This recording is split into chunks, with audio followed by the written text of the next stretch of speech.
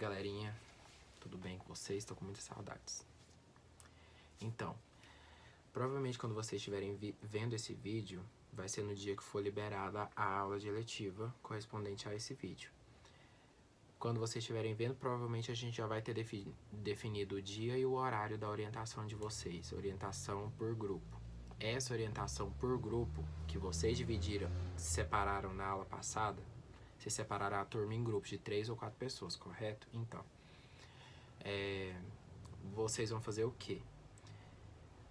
É, a gente vai ter essa aula por grupo, ela vai acontecer na forma de live, em vídeo chamada pelo próprio grupo do WhatsApp que vocês me colocaram, cada um colocou no seu próprio grupo. E nessa aula, o que, que eu vou fazer? Eu vou ajudar vocês a adaptar melhor, tipo, a fazer alterações se preciso, adaptar melhor a coreografia que vocês fizeram previamente na música que vocês escolheram, ok?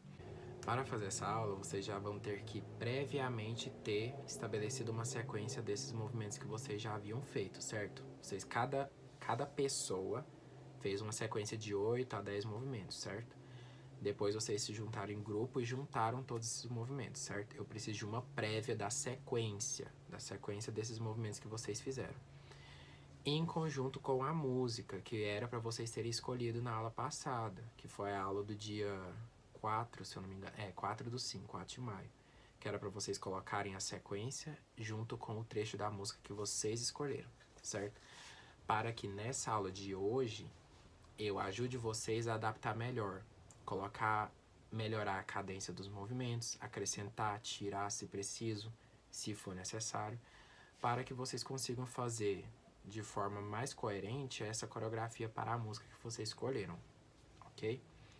Então, caso não tenha ficado claro, essa live que vai acontecer por vídeo chamada do WhatsApp por grupos vai ter horário estabelecido, de forma que não pode se atrasar, porque tem outros grupos para serem orientados.